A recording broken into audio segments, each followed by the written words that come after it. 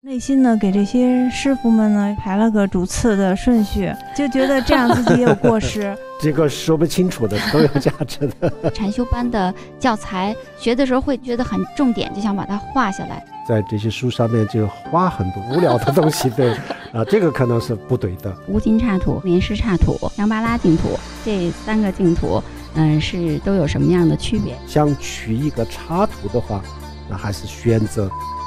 我觉得这个是最安全的。慈城罗珠堪布，色达喇荣五明佛学院堪布，教务负责人，当代著名宁玛派上师，藏传佛教的弘扬者。堪布常年笔耕不辍，以超凡的智慧撰著了《慧灯之光》系列丛书等大量适合现代人阅读特点的佛学读物。并经常应邀前往世界各地进行学术交流和演讲。与此同时，堪布还长期深入藏地，以广大慈心宣导戒杀放生、素食环保、教育禁毒、防治艾滋病等理念。面对种种盛赞，堪布常说：“我只是一位教佛法的老师。”然而，就是这样一位辛勤的老师，以他对大众不变的热爱，年复一年地传递着佛教智慧，点燃了很多人内心光亮的明灯。各位观众朋友们，大家好，欢迎大家收看《慧灯问道》节目。我们在实修的过程当中呢，常常会遇到这样或那样的一些问题。这些问题往往就像我们前进当中的绊脚石，只有解决了它们，才可以更快、更好的行进。那么，在上一期节目当中呢，慈城罗珠堪布就实修这些问题，对我们进行了解答。这期节目呢，我们就接着与堪布来进行互动。掌声有请慈城罗珠堪布。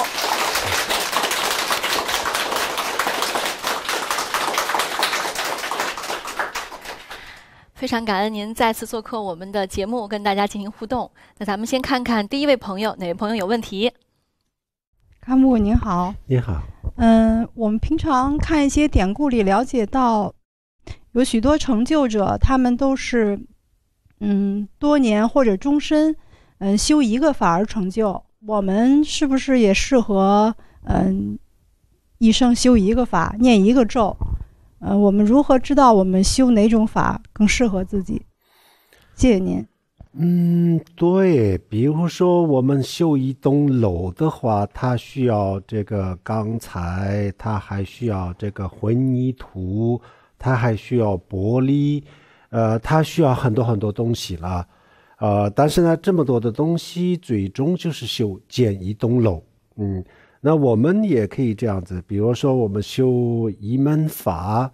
啊，就是一门深入啊，一门法。但是呢，呃，这个一门法呢，就是不等于就只念一个咒啊。那这个我们比如说这个一门法里面呢，就有很多很多，比如说也有出离心，有菩提心，然后有正悟空心。那这些全部加起来，最后啊，我们实际上还是修。还是修一门法，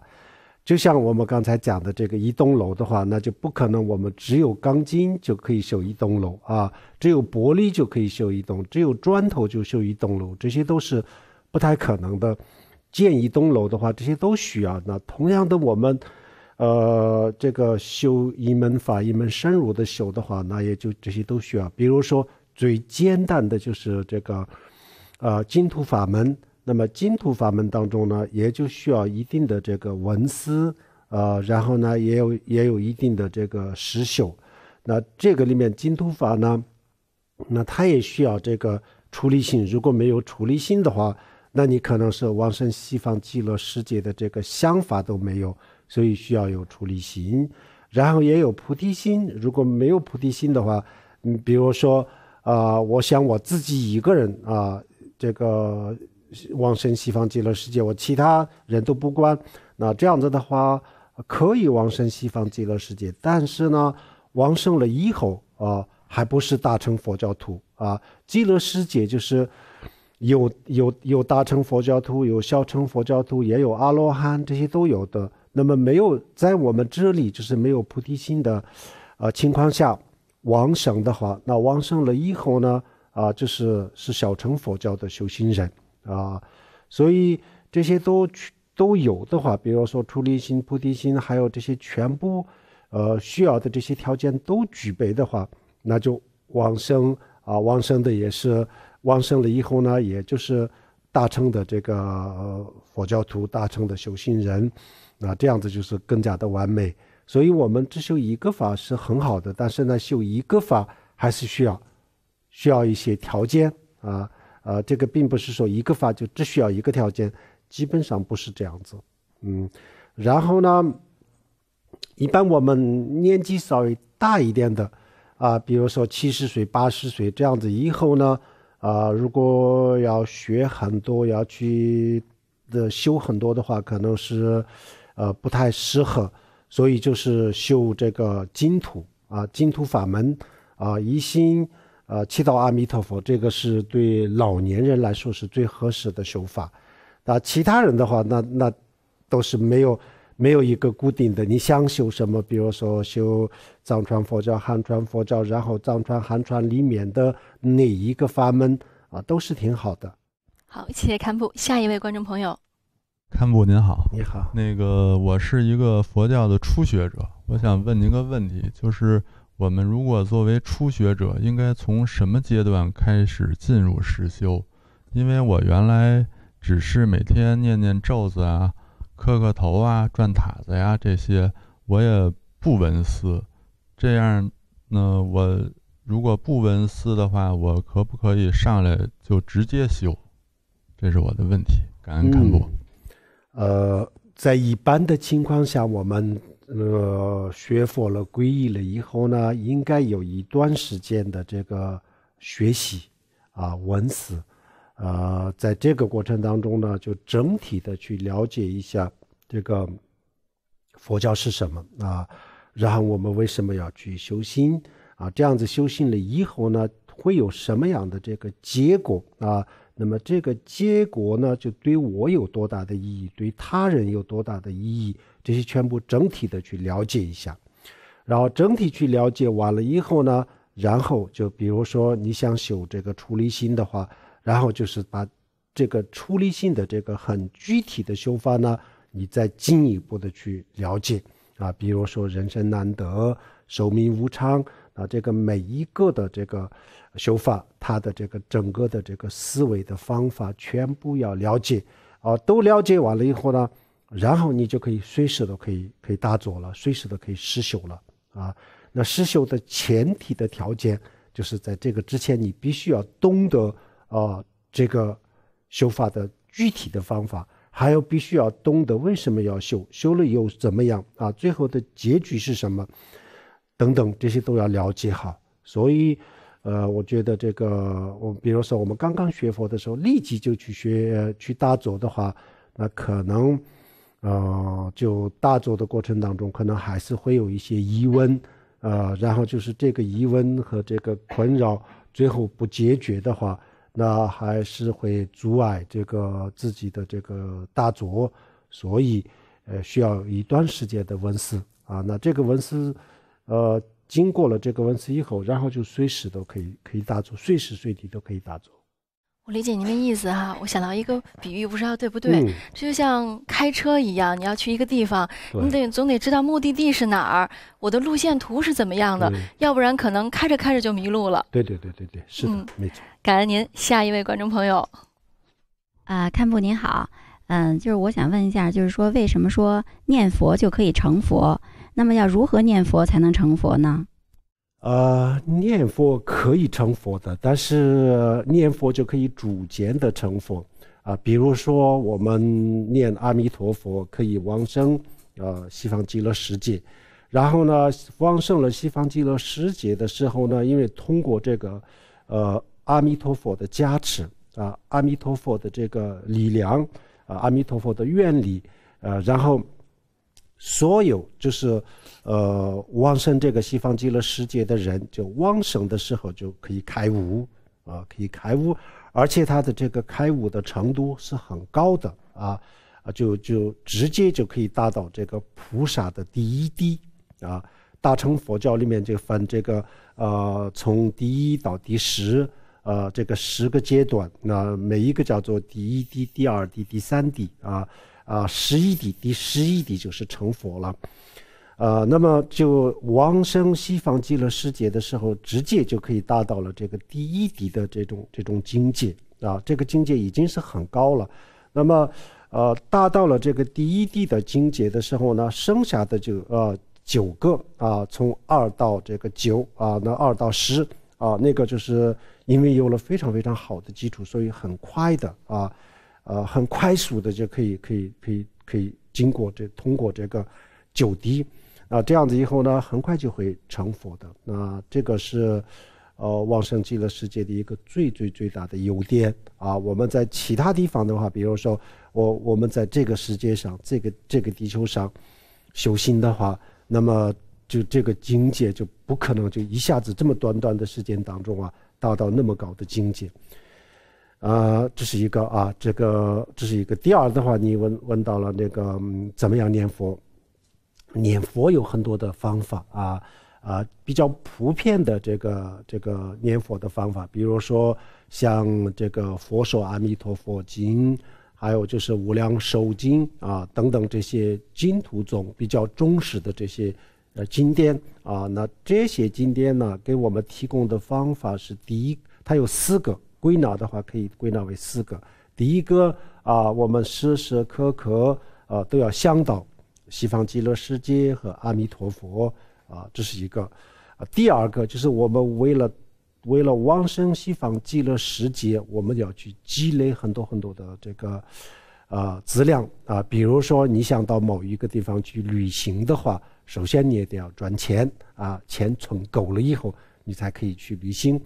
同样的道理，我们要往生西方极乐世界呢，就是要积累资粮啊，这是第二。第三的话，那也要发菩提心，也不能说啊，我一个人往生西方极乐就极乐世界就可以了啊，不能这样子，就是我也要往生极乐世界。但是呢，所有人所有的生命啊，都要往生西方极乐世界啊，就是要有这样子的这个心啊，这是第三。然后第四的话，那么时时刻刻都要发愿啊，然后就是回向啊，我们做任何一个这个山啊，都回向啊，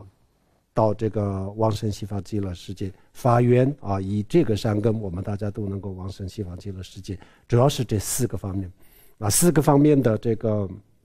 方法是最普遍的方法。那么另外就是，比如说一心不乱。一尘不染啊，这样子的呃念佛的方法，那这些是比较高端的这个念佛的方法。还有就是跟这个禅宗、跟这个净土宗结合的念佛的方法，也是，比如说你就就进入这个禅的这个状态，然后呢，同时就可以念佛，也有这样子的方法啊。但是我们一般大家都能够用得上的最普遍的呃这个念佛的方法，就是这四个。谢谢堪布。就我还有那个下面几个问题是关于那个莲师的乌金刹土和极乐世界的这个问题，然后想问一下，就是说那个，呃，因为呃，我们就是要发愿往生极乐世界，但是呢，因为我们学密宗，有些上师呢也是那个鼓励我们发愿往生莲师刹土，那么还有些是那个师傅呢也是呃，就是那个鼓励大家往生香巴拉净土，然后呢，就是说我想了解一下，就是说这三个净土。嗯，是都有什么样的区别啊？这这三个这个插图都是都是佛经里面就描述了这三个世界是什么样的世界，这三个插图是什么样的插图，啊，那这个讲的比较清楚的。那这三个插图当中呢，最最最好的是这个极乐世界啊。什么是最好呢？就是因为，呃，很容易往生啊，很容易往生西方极乐世界。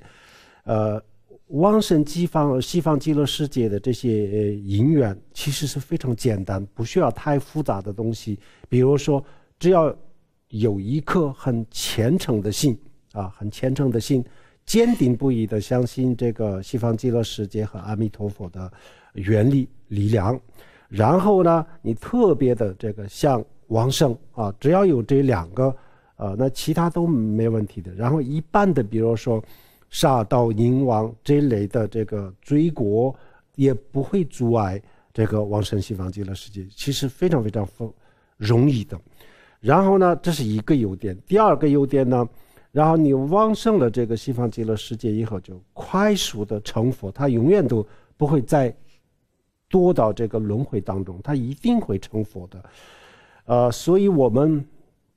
就因为这个西方极乐世界的话，不不管是藏传佛教的、汉传佛教的，我们所有的这个呃大乘佛教徒，大家都是比较熟悉的啊。然后每一个人的这个内心当中，对这个西方极乐世界呢，呃，也有一定的这个向往啊，还有信心都有的。然后呢？无尽插图，还有这个香巴拉插图，他们也是插图，但是我们很多人也也不知道这个到底是一个什么样的插图啊。所以我觉得，就是我们还是好好念佛啊。就如果要取，要想取一个插图的话，那还是选择西方极乐世界，我觉得这个是最安全的。谢谢堪布。那个 最后一个问题就是，嗯，就是说那个莲师心咒和那个阿弥陀佛的圣号，就佛号这两个比起来，哪个更有加持力一些呢？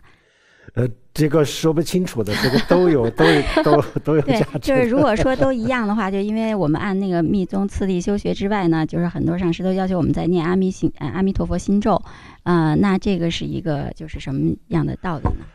呃，比如说，我们如果是很想往生西方极乐世界的话啊，那其他什么咒都可以可以不念了，就念南无阿弥陀佛，就念这个关于这个阿弥陀佛的心咒啊，或者是阿弥陀佛的生号啊，啊，这样子就可以了啊，就完全是可以了。这个就其他的咒念和不念都可以。但是如果在这个上面，比如说念一些莲花生大师的咒，那这样子的话。我们也有帮助，有什么帮助呢？一个是我们在这个学佛修心这个过过程当中啊，顺顺利利的，呃，不会遇到什么这个逆缘啊，不会因为是什么其他的原因让我们推砖推石啊，顺顺利利的可以这个往生西方极乐世界。啊，有这样子的这个作用，所以呢，莲师的这个心咒，还有阿弥陀佛的心咒，两个都一起念，两个都一起修的话，也是非常非常好的啊，各有各的这个功德和好处。但是如果说这两个好处哪个比较大，这个就不太好说。对，谢谢堪布，谢谢，谢谢堪布。呃，我有一个问题想请教一下您哈，比如说有一个人他修行特别精进，在此生。就可以证悟空性的话，那他还有必要？因为他已经见到了这个真相了嘛。对。那他还有必要再念佛和往生西方极乐世界吗？有必要的，因为，呃，这一生当中这个真悟啊，这个是我们作为一个佛教徒的话，就是每一个人都有这个机会的。嗯。呃，只要他的方法没有错，然后呢，稍微下功夫的话，完全是可以的。呃，但是这些所有的这些。这些真物都叫做初步的真物啊，初步的真物。那么，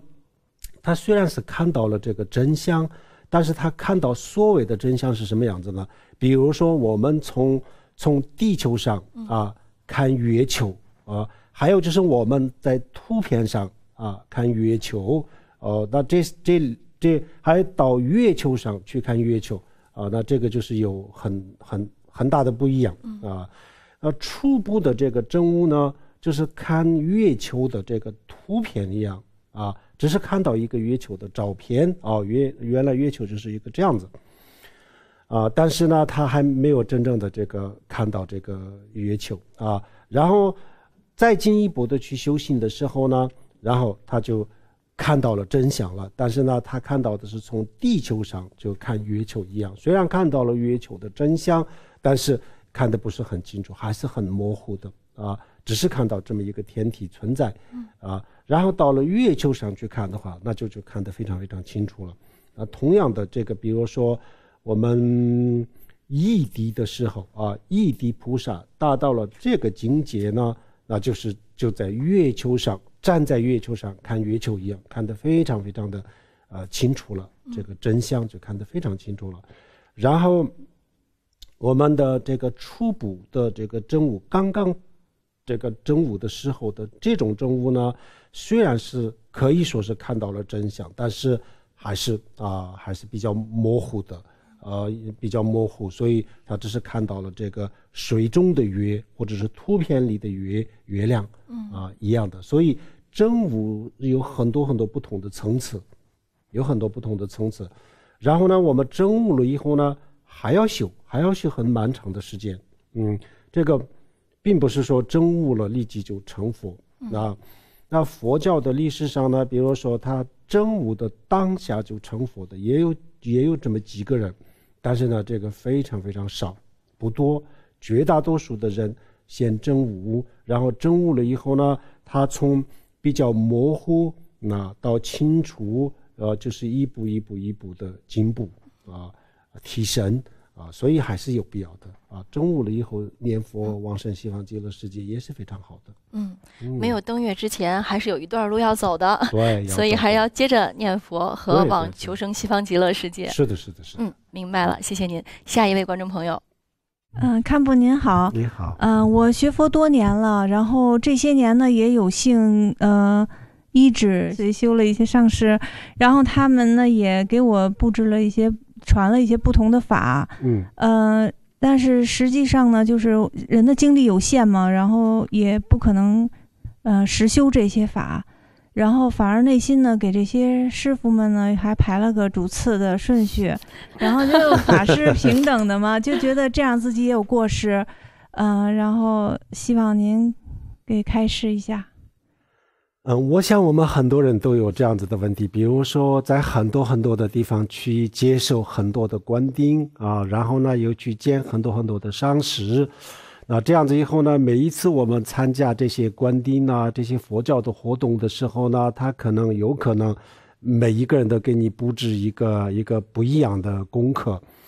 呃，然后呢，每一个这个官丁他有不同的这个本尊，然后呢又要念这个本尊的咒等等，啊，这样子以后累积起来以后呢，啊，最后就是确实是很多很多没办法完成，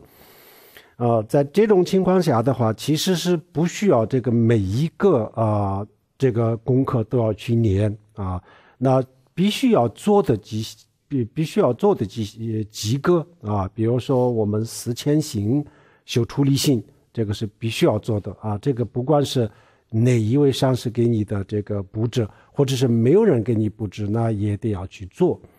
呃，然后就是菩提心啊，像菩提心啊这样子，比如说你心目当中的这个这个呃地位。最高的，你刚才不是说上司这个派一个虚那个地位最高的上司呢，让你去啊烧香啊拜佛啊磕头，然后赚更多的钱，然后捐给寺庙修寺庙，然后你心目当中这个最没有地位的这个上司啊，让你去修出离心菩提心这样子的话，我想应你应该去选择这个，去这个修出离心和菩提心啊，因为这个是。这个是必须要做的事情，嗯，然后呢，烧香拜佛，呃，还有就是捐钱，这个修庙这些可做可不做，呃，这样子的。所以这些你如果有条件也可以做，没有条件的话也可以不做，啊，不做的话那也这个也不会妨碍你的这个解脱这些，呃，所以，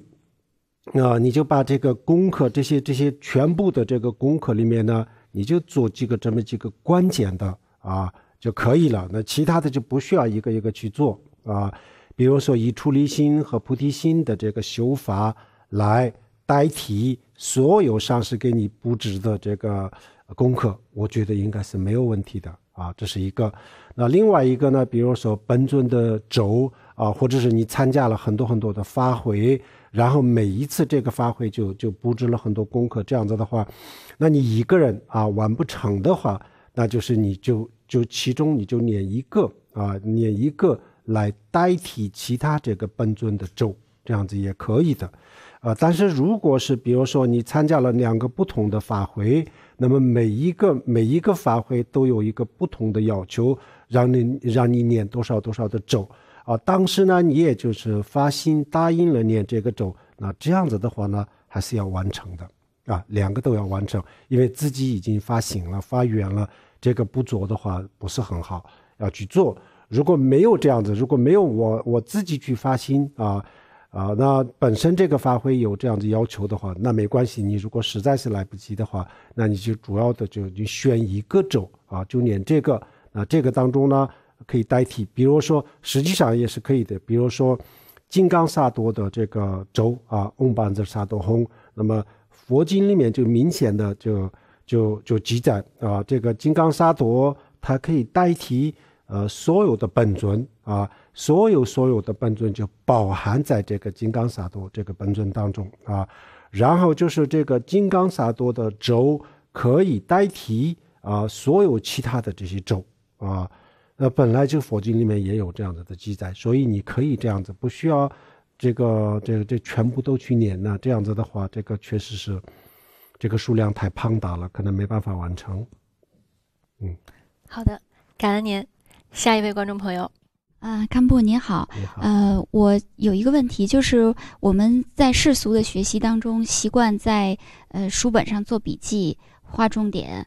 嗯，我参加禅修班以后，前两册书也是这么做的。嗯但是最近呢，我听到一种说法，就是最好不要在这个书本上，就是佛教学佛的书籍上做这个标记。呃，我很担心有这个过失，所以我想请教您一下，就是佛经我们肯定不会去乱写，但是像我们现在禅修班的教材，或者是像呃前行引导文，因为学的时候会情不自禁觉得很重点，就想把它画下来。呃，可以这样做吗？还是说绝对不可以，一定要用笔记本来记录下来？呃，比如说佛的佛经或者是佛教的书籍上面呢，你比如说听课的时候呢，就是做一些注解，呃，这个是应该是没有问题的，也就是这内容是相同的。很多的佛经，呃，它也有也有这个注解啊，比如说你听的时候呢，你听懂了一个明白，你就就害怕忘掉，写在上面，这个应该是没问题了，啊，但是。呃，就有些人就是就听课的时候就就就在这个佛经上或者是这些书上面就画很多东西，比如说人呐、啊，画个漫画很无聊的东西，对，啊，这个可能是不不对的嗯啊，就是就写一些相同的，比如说佛经它相同的内容记在上面，这个应该是没问题的。好的，谢谢您。下一位观众朋友，啊，堪布您好，啊，就是我的问题是，就是如果是那个呃接了那个一般的顶，就是指的是对那个接受灌顶的人没有特殊要求这样的灌顶，呃，就是那每天就是来按这个所接的顶修这个修法，但是没有修五加行，就能不能修成就？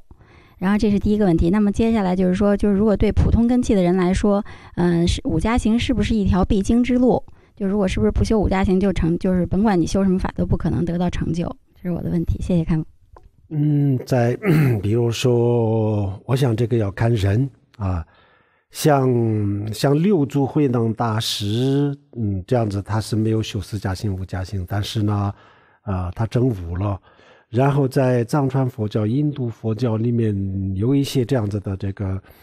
呃个案啊，但是毕竟是非常非常少数的，所以呢，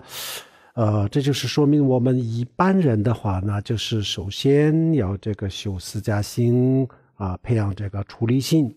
然后呢，再去修这个五加心啊，发菩提心，然后一步一步走，那这样子是比较踏实的。所以呢，我们比如说对一个普通人来说，可以说这个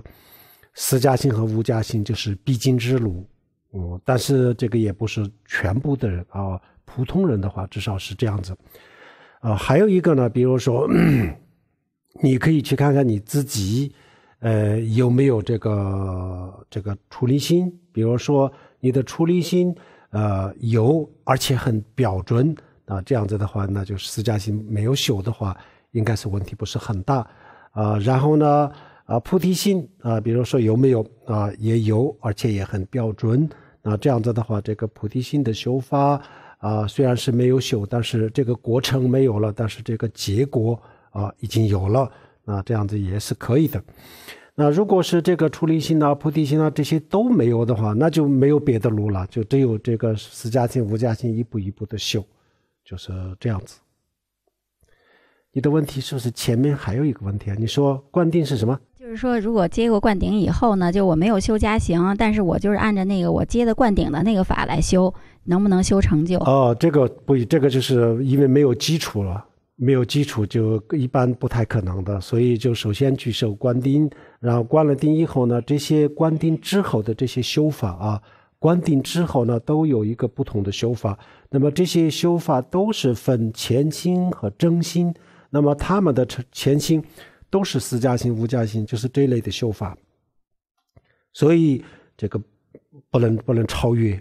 嗯，还是要按照这个它的次第来修，是最踏实。看不，我理解您的意思，就是说这个出离心和菩提心是基础，必须有这个基础才能修更高的法，对吗？对对对，出离心是实际上，比如说我们一个人啊。还没有学佛的时候呢，我们非常的眷恋这个轮回啊，那就是有一种无形的力量把我们就是就固定在这个轮回当中啊，就是谁也就这个离不开这样子，嗯，让这个力量是通过这个出离心啊，把这个力量啊就逐渐逐渐的减少啊，或者是从本质上就断掉啊，这样子以后呢，就可以这个人就可以就脱离轮回，比如说。啊，一个风筝啊，那么这个线在人的手里啊，那么它飞得再远再远，最终还是要拉回来的。如果有一天把这个线剪断了，那它可以自由的可以飞翔啊。同样的，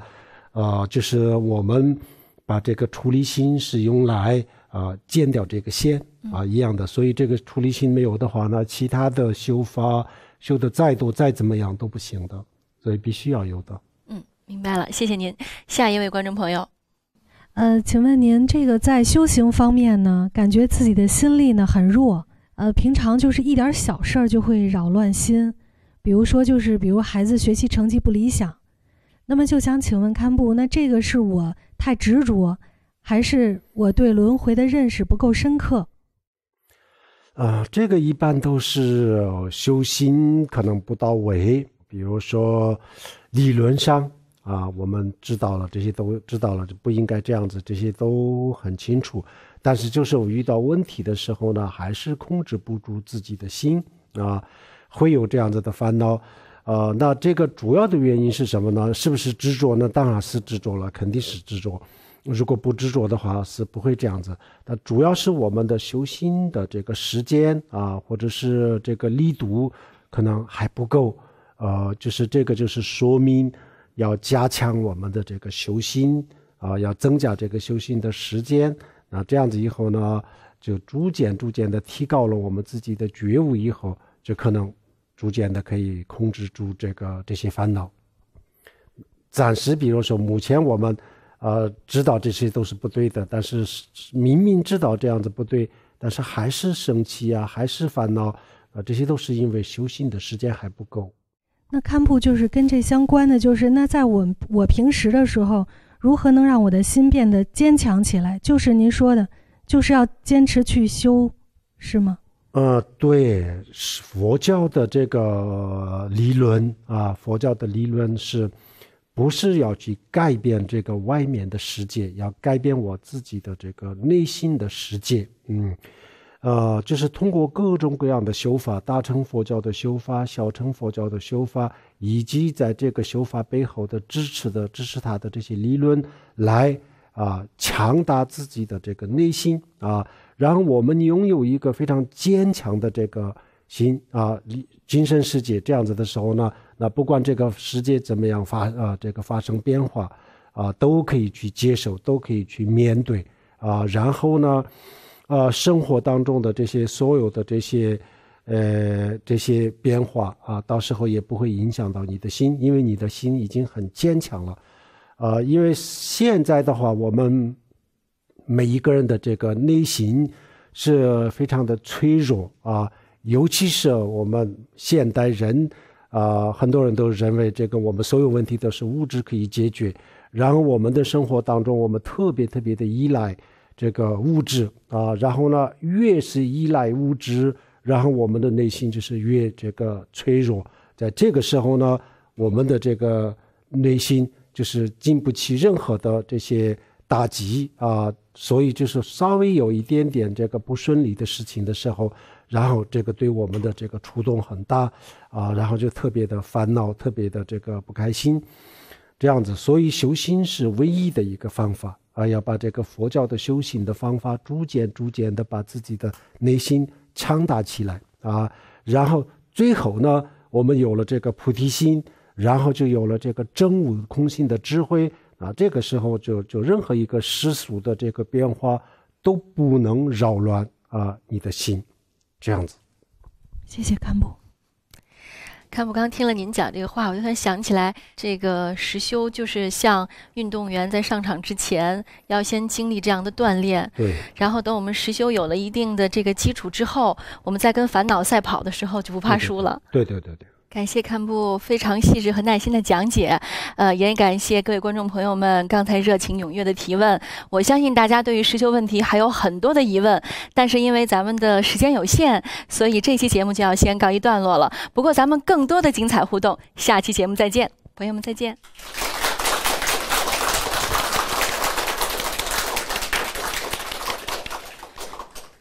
自己造了不好的缘起，可以通过念缘起咒来改变这个缘起吗？突然间念几句缘起咒要改变一个事情，这个也有一定的难度。修行的时候会有这样那样的问题，我该怎么办呢？把这个问题可以发给我，然后我可以给你们解答。供佛的鲜花供过了，可以扔到垃圾桶吗？花包起来有一层隔离，放在垃圾里，这样可以吗？放在垃圾桶里面以后，差不多都是一样的。